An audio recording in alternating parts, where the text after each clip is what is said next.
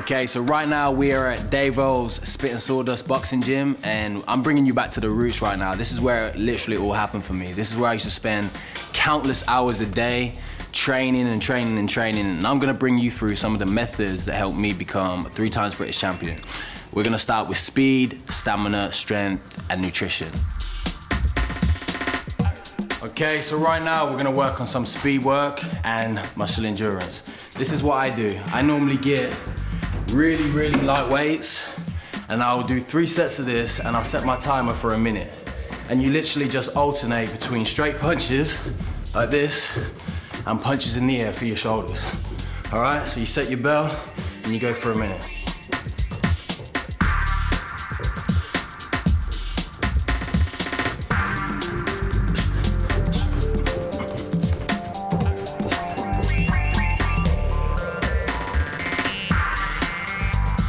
Pad work is good for speed because you work on your timing, you work on your reactions, and you work on your defense.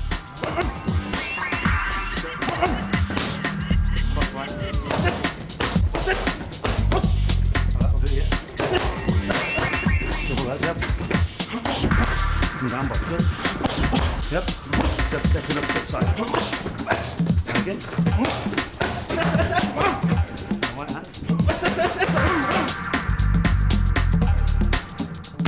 This is good for reactions for one and muscle endurance, I guess, because it's all in the shoulders.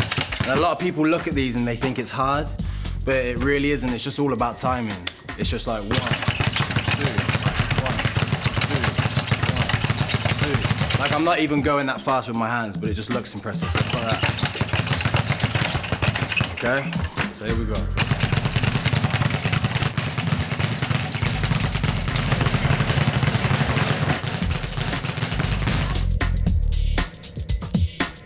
Skipping is one of the best cardio exercises you can do. It basically works everything, and the fit you are, the faster you are, basically. So here we go. You can invest in a skipping rope for about three pounds. So again, there's no excuses. You can do it anyway. What I normally do, I, I do two minute rounds, and I break it up. I will do 15 second sprint, 15 second slow, 15 second sprint, like just to keep it fun and put intervals in it. That's how you get fit. All right, so here we go. So you want to ease up on it. Then you put a little 15 second interval. That's when you go fast, ease up, and you slow down. So every now and then, like, you should always make it fun, you know? So when you put them sprints in, you want to put like little tricks in just to keep, just to fasten them two minutes up, basically.